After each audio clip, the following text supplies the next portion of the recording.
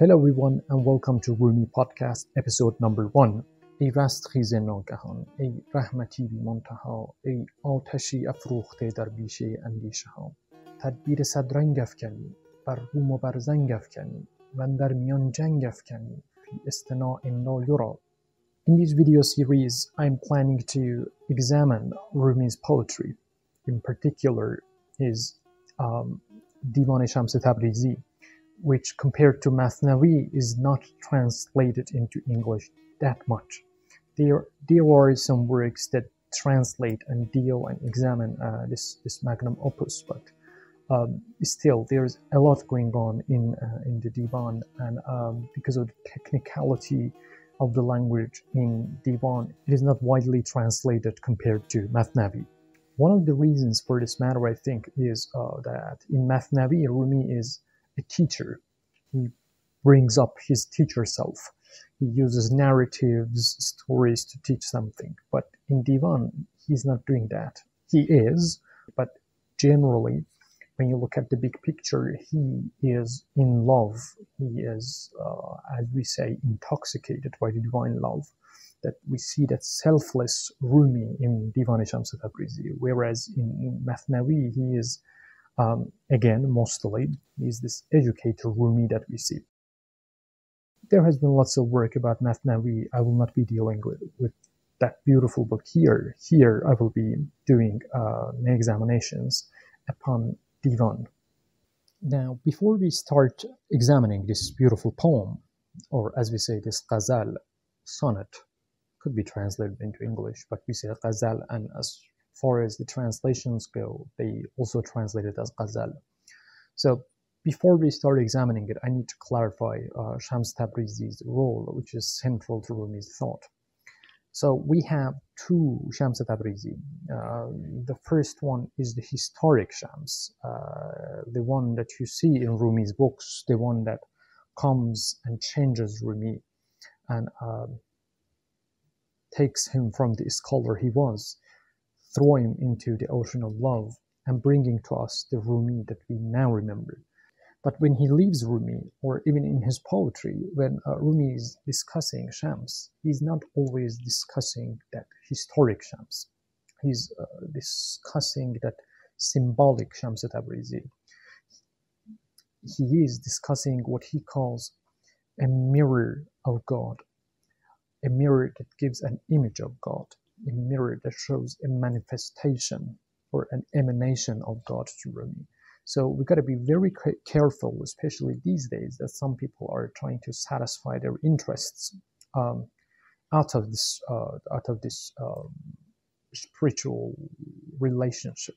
Rumi and Shams Tabrizi were two great pillars in Islam, two great scholars and two great mystics, and um, they have walked through the boundaries of this religion and never setting a foot aside.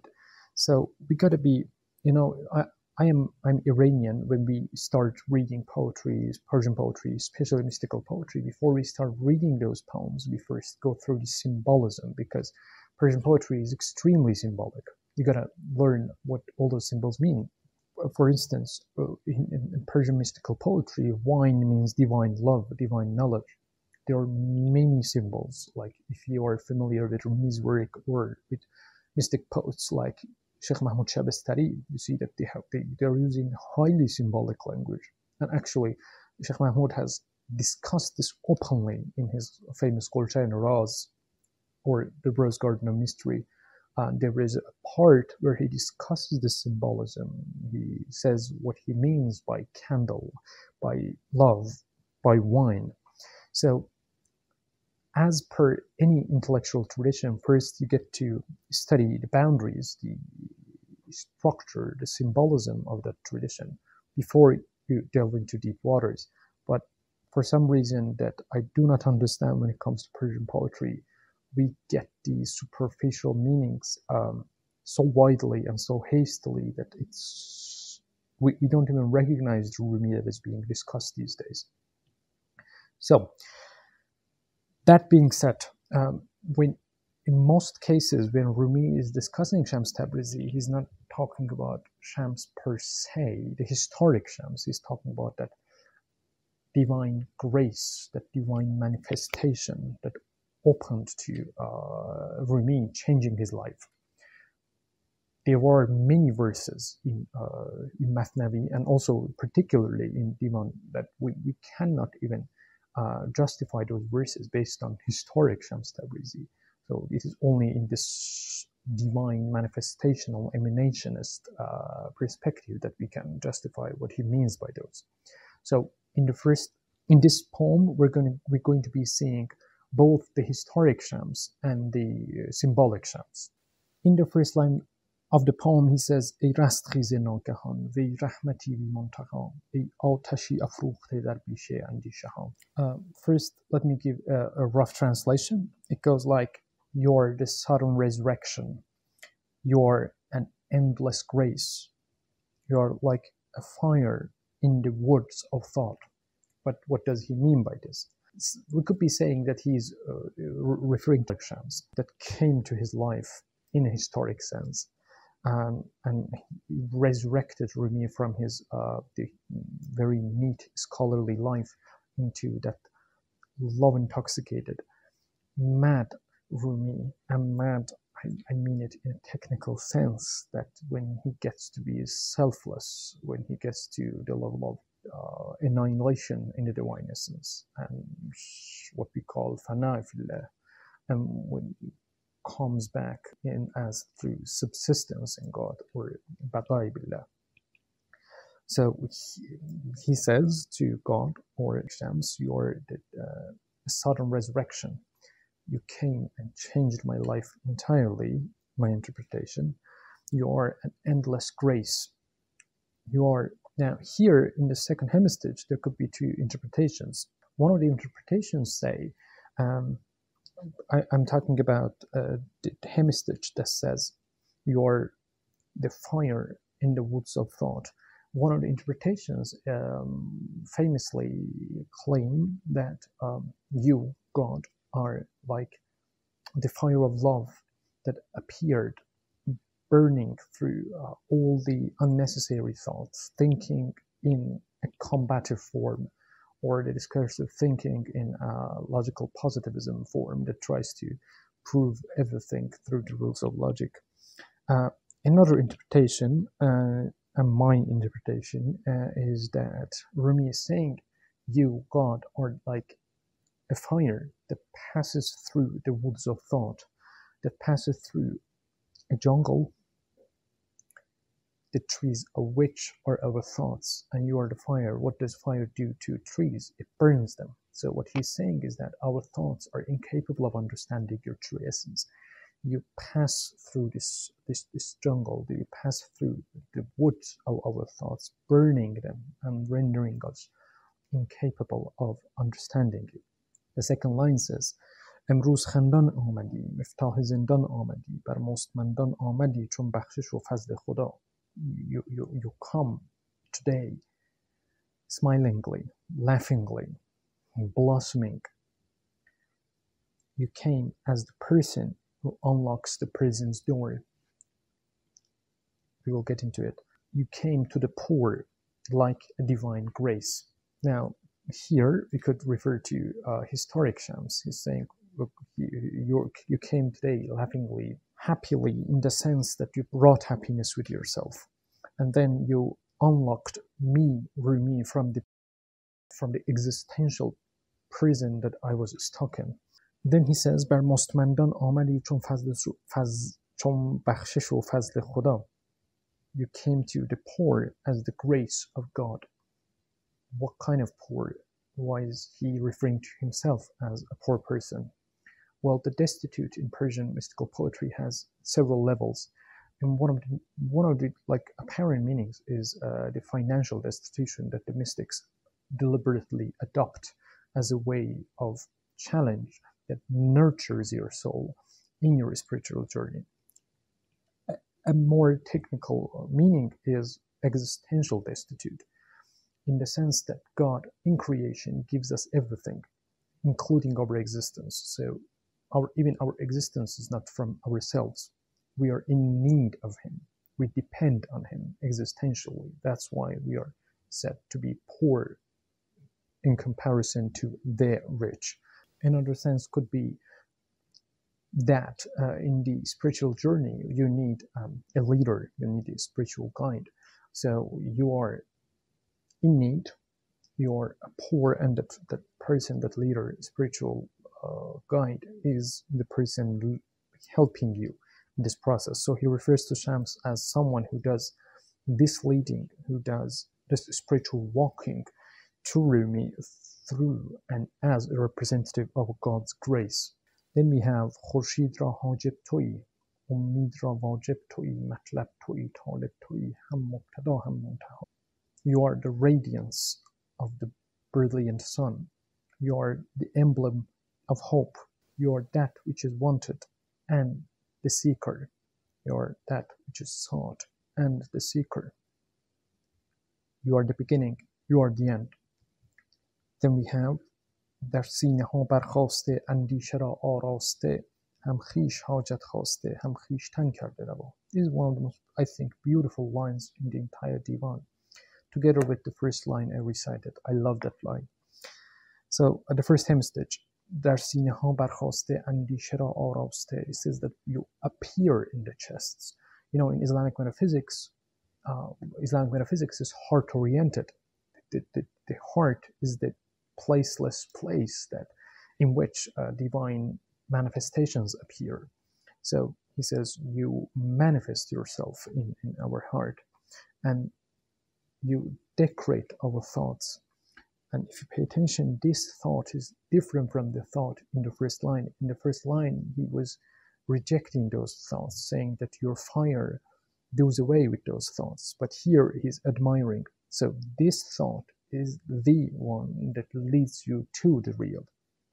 So you are manifested in the hearts and you decorate our thoughts, guiding us, leading us towards reality. And this is a very elegant part. He says, You put the prayers in our heart and you answer to those prayers. Everything there is is you.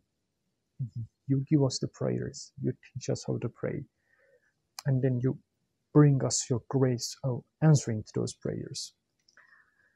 در سینه ها برخواسته اندیشه را آراسته هم خیش حاجت خواسته هم خیش تن کرده روان ای روح بخش بی بدل وی لذت علم و عمل باقی بهانست و دقل که این علت آمد آن دوام You are a rivalrous, rivalless soul creator. You are the sweet taste of knowledge and action. and whatever there is other than you is just but a trick. And dealing with these tricks, dealing with these deceptions, deception would be a better translation. Dealing with these deceptions is a sickness that could only be cured with seeking you. مازن دقل کشبین شده با بیگنه در کین شده گه مست این شده گه مست نان و شوربا What does he mean? He's saying that from that deception from the previous line, we have become two-eyed. We cannot uh, separate the truth, the real, from non-real. We cannot find our true path. We are so deceived by the extraneous worldly desires, trivial matters, that we have lost the sense of truth, the sense of reality. Out of this, we have got to be the enemy of the innocent. When someone is not guilty of anything because of this two-eyedness, because of the deception, we are we, we, we are becoming their enemy. And when there is someone who is not thinking like us, we are taking them as our enemy. But when there is someone speaking the truth, we cannot even recognize that. We are even deceived by the hereafter. And by hereafter, he means in the sense that instead of wanting the real instead of wanting the God in the hereafter and even in this world, we are deceiving ourselves. We are trading with God that I'm going to be this right action, this righteous action, and I'm going to be avoiding uh, the, the, the, wrong to go to your heaven, to be with your angels. Master Hurul Ain, we are intoxicated, we are drunken by the angels, he says. And so we are sometimes deceived even with the trivial worldly things. So in Rumi's thought, um, worldly engagement in this sense is dangerous because it prevents us from the truth, prevents us from reality. And even dangerous is trading with God. I'm going to be doing something, I'm going to be avoiding something so that you give me something. The underlying message here is that you, you should want God for God. That's one of the reasons uh, Rumi is playing a love game. So he's saying, Look, I'm giving you everything my existence, my happiness, my everything, and I want you. Other poems, he's also acknowledging this. For example, he has this famous poem saying, خنکان قماربازی که بباخت آنچه بودش نه به نماند هیچش الا هوس قمار دیگر acclaimed the gambler who has lost everything and he has he's left with nothing but with the desire to play one more time so he's saying look i have lost my everything for you and i would grant you everything i just want you that is the only thing i have that is the desire that i have in سکر in عقل را وین نقل بین این نقل را که از بحر نان و عقل را چندین نشاید ماجرا He's now comparing the spirituality with these trivial uh, worldly matters. In سکر بین pay attention to, look to spiritual enjoyments, spiritual joys, and let go of unnecessary thoughts. In نقل بین هل نقل را think look at these sweets again he's, he's referring to spiritual joys and let go of this person saying this and that because because of this bread and food that is the worldly desires it is not worth getting into heated debates he's disdaining philosophers in this sense not philosophy and reasoning per se, but the um, those heated debates that get you nowhere.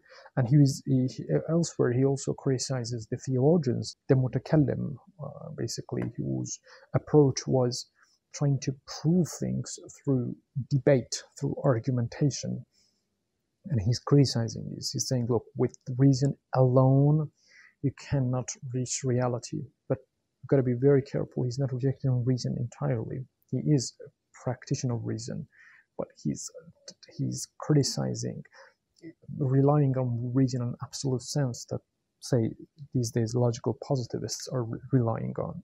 تدبیر صد رنگ افکنی بر روم و بر زنگ افکنی و در میان جنگ افکنی فی استناء لا یرا You bring forth many arrangements, bring them through the white and black a very important principle in Rumi's poetry is uh, the opposites. For him, um, the whole world is a combination of opposites, uh, as he's showing us in this in this line.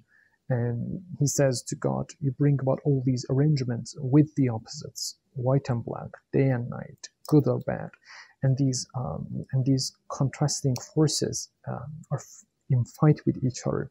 And this is how the world is um, how the world becomes how life becomes dynamic how life is sustained. These opposite forces are at play to sustain their lives. And this is how life is continuing in this uh, in this picture. Health is known through sickness. Day is known through night. Good is known through evil. All the opposites for rumi. But all these opposites for him um, coming to unity when he reaches the divine, um, the divine oneness, divine unity. So he says to God, You set this fight so elegantly and without us seeing it. میمال پنهان گوش جان می نه بهانه بر کسان جان رب خلصنی زنان والله که لاغ است کیا now he's directly referencing God. He says, Look, you, through the difficulties, through ascetic practices, you are training our souls, you are training ourselves. But you, you, you do this through your tools, through others, those tools being humans, animals, all, all the created beings. You are training us in our lives, you put us into difficulties through your, say, minions in my translation. But our souls, ourselves, are begging God to, to, to free them from this fight of the opposites from these unnecessarily worldly desires and the worldly prison. Then, pointing to these, he says, All these are but deceptions and play. Then he tells himself, خاموش که بس مستعجلم رفتم سوی پای علم کاغذ بنه بشکن قلم ساقی در آمد از سلام Be silent to himself. I am in need. I am in need of the beloved. I am going towards him. Then he again tells, himself to put away the paper, break the pen. The beloved came. After going through all these steps, after begging God for such a long time, the divine manifestations appear in his heart. And out of that joy, he says, Put away the paper, break the pen. I don't need this right now. The beloved came, the beloved appeared in my heart. This is the time of union, not the time of logical formulation. I hope you enjoyed this uh, this ghazal. This is one of my favorite ones. This is literally the first ghazal in uh, Divan Shams Tabrizi. Until our next meeting, our next episode, be well, be happy, and please like and share to help the channel. Thank you very much for watching. I hope these enlightened words illuminate you.